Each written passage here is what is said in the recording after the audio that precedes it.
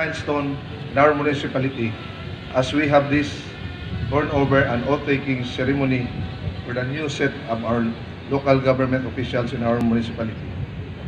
It is my humble honor and privilege to lead this municipality, having sworn to office as I had been elected with overwhelming support and trust given to me by the people of Ilongos last May 2022.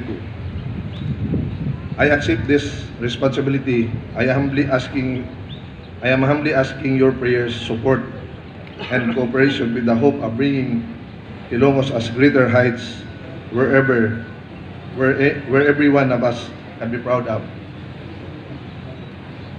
Mga kaisunan kong Ilongos noon, nga ako na gidawat karon, palihog, tabangi ko ninyo, iampo ko, o suportahin ko ninyo.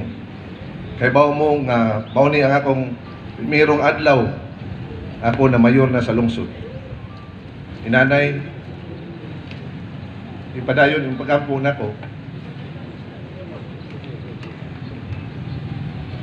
Kay bao ko nga ang atong lungsod daghan pang trabahoon, daghan patag lihok unon nganhi. Unang palihog Mayor Vice Mayor Bintong, Honorable Ong, ug uban sa mga opisyalis sa SB, tabangi og suportahi ko ninyo para sa kalambuan sa atong lungsod.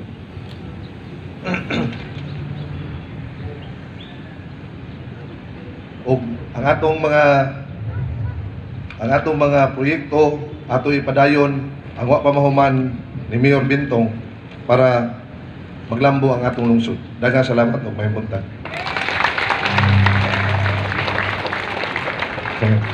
Ang salamat sa atong bagong uh, Municipal Mayor, Honorable Manuel R. Villahermosa.